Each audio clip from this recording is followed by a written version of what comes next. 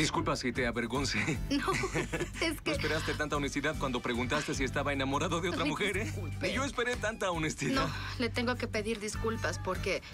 Ay, fui, fui muy indiscreta. No debía haberle hecho una pregunta tan no, íntima. pero Lo no. siento. Yo creo que fue bueno porque yo me necesitaba desahogarle, necesitaba decir esto a alguien. Hablé contigo porque yo confío en ti, es nuestro secreto. Claro, ¿Está bien?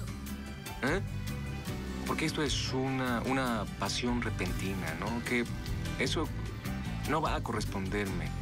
Y yo no, sinceramente yo no, yo no espero nada de esa persona.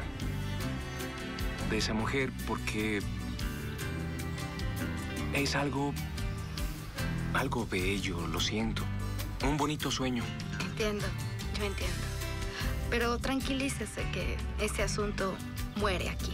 Sí, tiene que morir, ¿eh? Claro, señor Tifón. Tiene que morir porque, escucha, yo... Debes creer que estoy loco, ¿no? Contándote estas no, cosas. No es nada de Sé que eres íntima de la patrona, Me ¿no? agrada mucho doña Carmina. Quiero, quiero el bien de ella. Pero mi lealtad es con usted.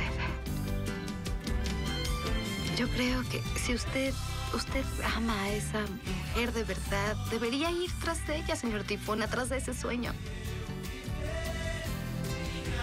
Ah, si tuviera eh, 20 o 30 años estaría obligado a ir atrás del sueño, pero después de que tienes los cabellos blancos rodeando tu cara, Claro la plática no. es otra, ¿no es crees? usted es muy joven aún. Sí, pero yo, yo tengo una familia ya, una, una esposa, que cuidar una esposa que siempre fue honesta conmigo, siempre estuvo a mi lado.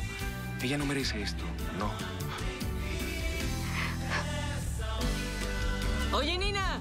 Oye, oh, oh, oye, Nina. Corre a la cocina que ese trozo de carne que pusiste en el horno se está quemando. Descuida, ya voy, Cece. Estoy interrumpiendo tu trabajo. No, no diga eso, señor. Te agradezco la plática. Tu hechizo es fuerte, ¿eh, muchacha? Hasta el patrón ahora. La mejor amiga de todos en la familia. Pero yo no te creo. Te estoy vigilando, bonita. ¿Sabes cuál es tu problema, amiga? Tú ves de más.